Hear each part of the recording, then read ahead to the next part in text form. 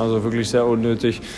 Ähm, eigentlich in den ersten 30, 35 Minuten alles im Griff gehabt. Ähm, wirklich ordentlich gespielt, Möglichkeiten rausgespielt, auch nichts zugelassen und dann irgendwie, ja, irgendwie den Zugriff dann oder das, was wir vorher gut gemacht haben, haben wir dann nicht mehr gemacht oder weniger gut und somit haben wir Hoffenheim ein bisschen ins Spiel kommen lassen und ähm, war ziemlich, ziemlich unnötig.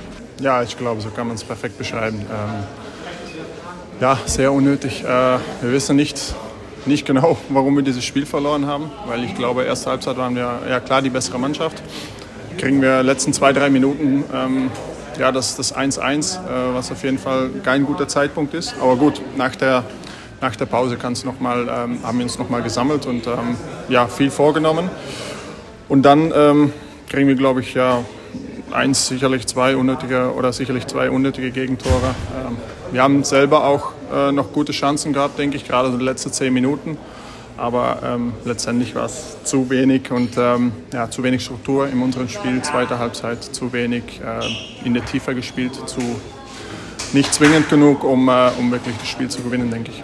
Klar, ist nicht so einfach. Sie haben dann auf Konter gelauert. Ähm, wir haben denen den Gefallen getan, dass wir teilweise dann auch da in diesen Pulk noch reingespielt haben. Wir haben es ein bisschen verpasst, einfach ähm, schneller die Seite zu verlagern, in die Tiefe zu kommen. Ähm, und dann war es heute ja, ich glaube, das war so ein bisschen der Knackpunkt, der uns da gefehlt hat, um speziell nach dem äh, ja, 2-1 dann richtig Druck auszuüben.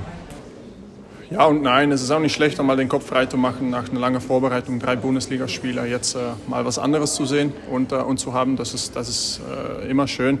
Aber wir freuen uns dann wieder ähm, zurückzukommen und ähm, ja, dann wieder mit voller Energie zu Hause ähm, hoffentlich die drei Punkte wieder zu nehmen.